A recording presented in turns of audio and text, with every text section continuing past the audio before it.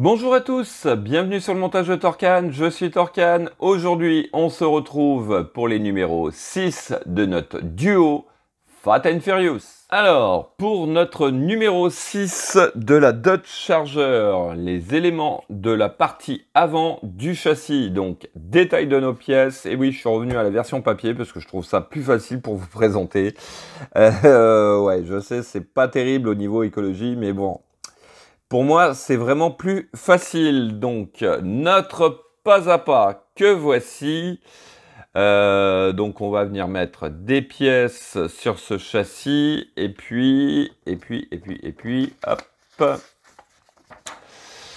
Euh, donc, vous voyez, on va venir vraiment euh, installer tout un tas de, de, trucs pour renforcer ce châssis. Et on aura notre étape finale pour, cette, pour ce numéro 6 de la Dodge Charger. Ensuite, le numéro 6 de la Skyline. Donc le bloc moteur, deuxième partie.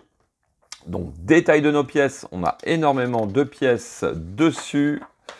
Et puis donc on va venir, bah, comme on peut le voir ici, hein, sur notre pas à pas, euh, équiper ce moteur, venir rajouter tout un tas de choses pour au final si j'arrive à attraper ma feuille, voilà, avoir ce résultat final à l'étape 6, enfin au numéro 6. Donc un moteur bien complet, très très bien détaillé je pense. Ouais. Allez, on est parti pour le montage. Donc voici nos pièces. Allez, on va récupérer notre pièce... Euh, tiens donc, euh, pièce E que voici. J'allais dire, elle n'est pas notée, celle-ci, mais si, si. Donc, on vient, hop, je pense, dans quel sens? Euh, Ouais, dans ce sens-là, donc la partie creusée vers nous, on va prendre notre pièce G que voici. Alors, il s'agit de venir là faire rentrer donc sur l'autre côté, on remarque qu'au bout de notre pièce G, on a un tube avec un petit détrompeur qui se place correctement comme ceci. Et de ce côté, on va venir mettre une vis DM. Voici qui est fait. Alors ensuite, hop, on retourne le tout. On va venir positionner notre pièce cette fois-ci comme ceci. Donc avec notre pièce que l'on vient d'installer vers nous, on va prendre notre pièce F que voici et il s'agit voilà, de venir la positionner. Alors par contre, non, je pense que c'était bien comme ceci. Euh, ouais, la partie creusée vers le haut donc ici, on a un trou, ici, on a un autre trou. On fait coïncider les deux trous ensemble et on fixe le tout avec une vis CM. Ensuite, hop, je vais pousser ça. On récupère notre châssis. Donc, on va venir juste à l'arrière ici, positionner donc notre pièce F entre les deux parties de ce châssis. Alors, normalement, euh, c'est bien comme ça. Ouais, c'est bien comme ça. Donc, sur, on vient faire poser le tout sur les deux tubes et on fixe le tout avec des vis AM. Donc, voici qui est fait. Alors, ensuite, on va récupérer les pièces A et B que voici. Donc il s'agit de venir les positionner l'une dans l'autre comme ceci. Et puis euh, on va venir mettre trois vis CM. Donc une, deux et trois. Donc voici qui est fait. Alors ensuite il s'agit... Alors euh, je suis en train de chercher. Ouais, comme ceci. Sauf que voilà, on vient prendre notre pièce comme ceci. Alors, donc les deux trous face à nous. Et hop, c'est de l'autre côté, bien sûr. Euh, on vient positionner donc cette pièce ici. Alors là, il y a un truc que je comprends pas trop. Ouais, on voit pas vraiment où elle va. Peut-être un petit peu plus loin. Donc, faut venir la positionner donc comme ceci, d'après ce que je comprends.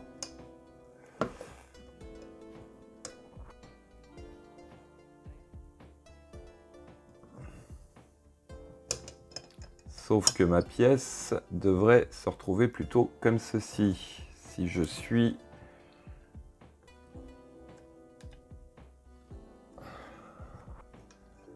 Ouais, donc en fait, en bout de cette pièce-là, on vient positionner, d'après ce que je comprends, notre, assemblage. Hop, euh, j'ai du mal à le tenir. Donc voilà, donc je vais essayer comme ça. Et donc, de chaque côté, on vient fixer le tout avec des vis CM. Donc, voici qui est fait. Alors, ensuite, on va retourner le tout. On vient récupérer notre pièce C. Alors, la pièce C, c'est celle-ci quand on tient notre pièce, on a un petit décrochement sur la gauche et le picot sur la droite.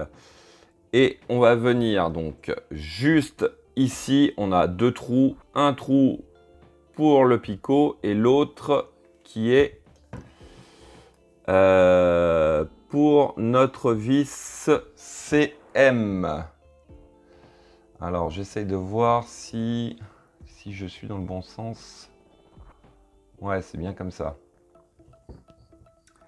Sauf que... Euh, pourquoi Pourquoi après on nous fait voir à l'arrière? Là, il y a un truc que je piche pas.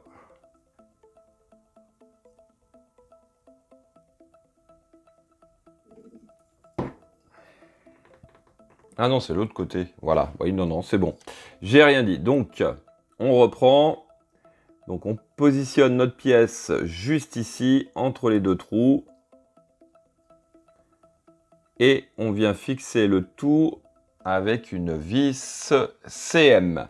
Donc voici qui est fait. Et puis euh, dernière étape, étape 8, on vient récupérer l'autre pièce. Et on fait exactement pareil de ce côté. Et on fixe le tout avec une vis pareil CM.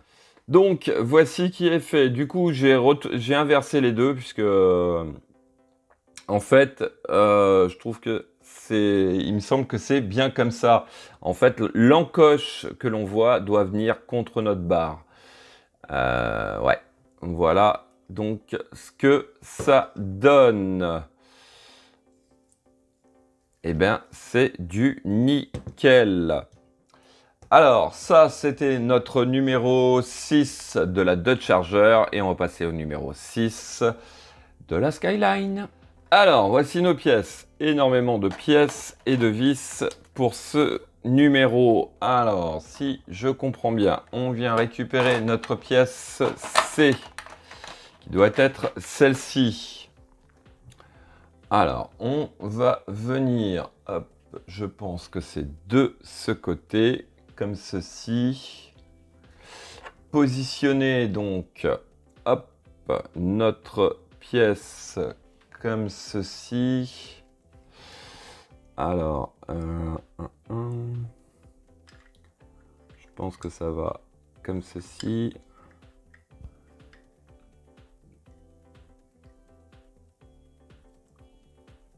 On doit venir l'adapter voilà, avec l'espèce de petite patte vers le bas. Et donc, ici et ici, donc on a, on a tout un tas d'alvéoles. Et entre les alvéoles du centre, les deux alvéoles du centre, sur la gauche et la droite, on a deux trous pour des vis AM. Donc, voici qui est fait. Alors, Ensuite, on va venir prendre une pièce 6A.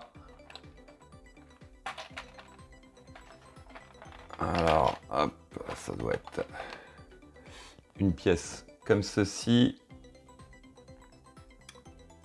On va venir prendre une pièce 6H. Voilà, hop, ça par contre, ça va être chaud à attraper. Voilà. Alors, il s'agit de venir, hop, positionner. Donc ici, on a un picot qui doit correspondre, voilà, au trou central comme ceci. Donc il s'agit de venir placer l'ensemble comme ceci. On le répète une deuxième fois.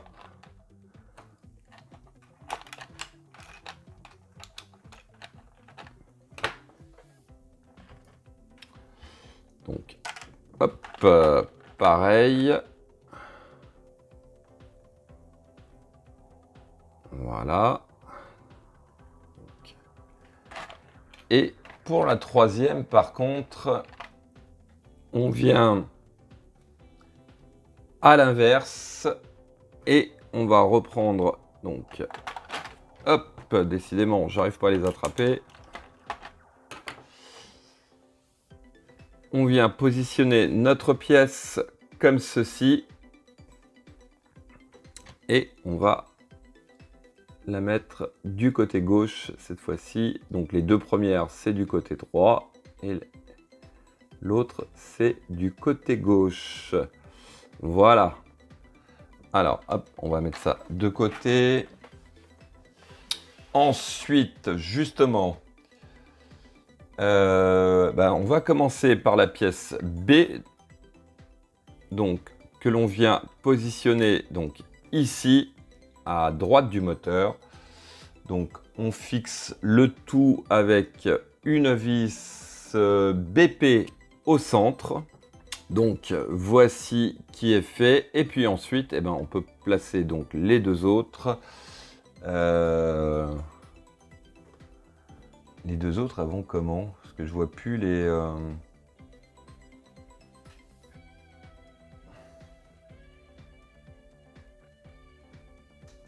comme ça.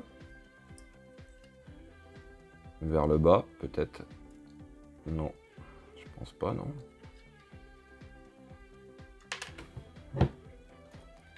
Bizarre. Non, ça doit aller vers le haut, hein, je pense. Voilà. Bon, écoutez, on va faire comme ça. Hein. Donc pareil, une vis BP au centre et pareil de ce côté. Donc ensuite, on va venir juste ici prendre notre pièce 6M. Hop. Et elle va venir donc se positionner. Alors comment Comme ceci apparemment. Et on la fixe avec une vis. Ah ouais non, alors, il faut venir en fait rentrer le picot dans le trou. Je, pensais que c'était l'inverse, mais non. Donc, voilà qui est fait comme ceci. Donc, ça tient à peu près. Hein, je pense que je vais le coller. Et ensuite, on prend la pièce J. Alors, la pièce J, c'est celle-ci. Et notre pièce J va juste ici comme ceci et on la fixe avec une vis AM. Donc voici qui est fait. Alors, hop, on va poser ça. On va récupérer notre pièce K que voici ainsi que la pièce L. Voilà, donc on va prendre le picot qui est le plus bas et on va le rentrer donc juste ici. Euh, dans quel sens? Dans l'autre sens, ce serait mieux. Voilà. Donc, comme ceci. Ensuite, on va venir de ce côté cette partie-là. Et la partie du picot qui est là va rentrer dans le trou qui se trouve ici, si j'ai bien tout compris.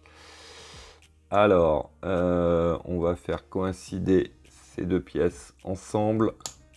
Donc voilà qui est fait. Alors, hop, je vais positionner cette partie-là à l'intérieur. Voilà. Donc voilà qui est fait. Alors pour l'étape 7, on va venir récupérer notre pièce N que voici. Donc la voilà. Et elle, elle va venir donc juste ici. On a un très gros trou.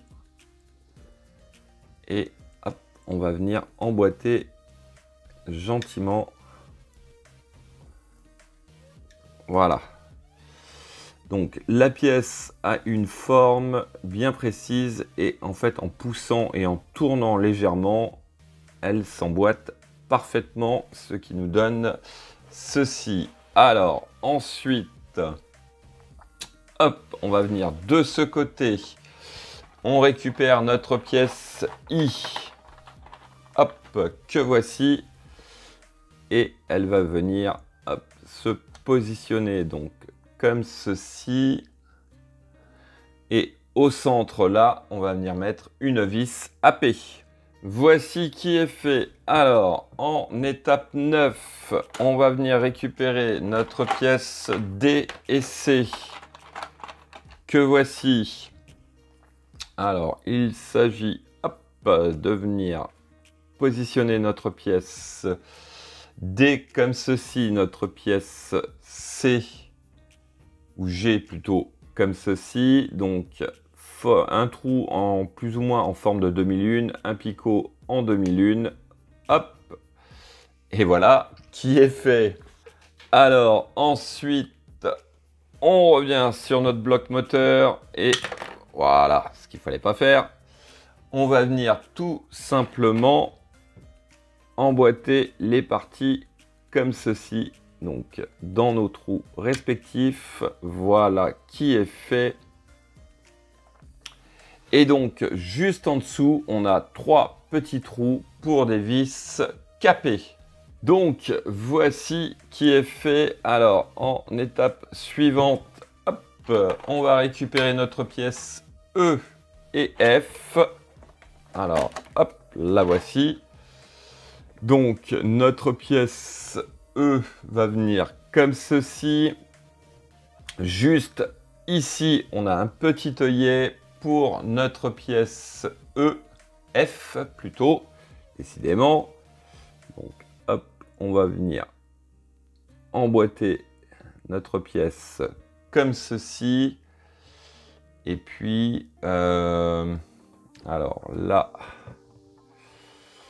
comment ça va ça?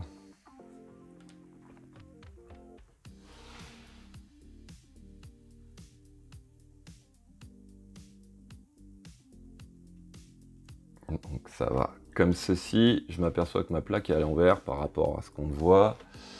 Euh, on vient, hop, positionner ça comme ceci, il me semble.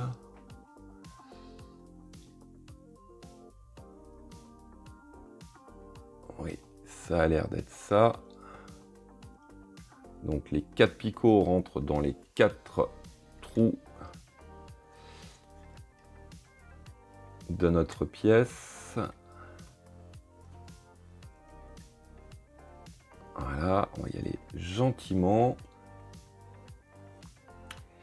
Et alors, normalement, les deux petites tiges qui sont ici doivent se rabattre. Voilà, comme ceci. Ah oui, de chaque côté, ok, de notre pièce. Et puis, on va mettre une vis NP, donc juste ici. Donc, voici qui est fait et ce qui conclut donc ce double numéro 6 Dodge Charger et Skyline avec ce très très beau moteur déjà pour cette Skyline, il est magnifique. Il est super bien détaillé, franchement j'adore. Ah ouais, franchement, il est magnifique. Je le trouve magnifique. Et puis donc, cette Dodge Charger que voici donc le, notre euh, châssis avant qui est déjà bien bien avancé. Voilà, fin de cette vidéo. Il me reste plus qu'à vous dire à très très bientôt pour de nouvelles vidéos. Pensez à vous abonner, à liker, commenter et quant à moi, je vous dis ciao ciao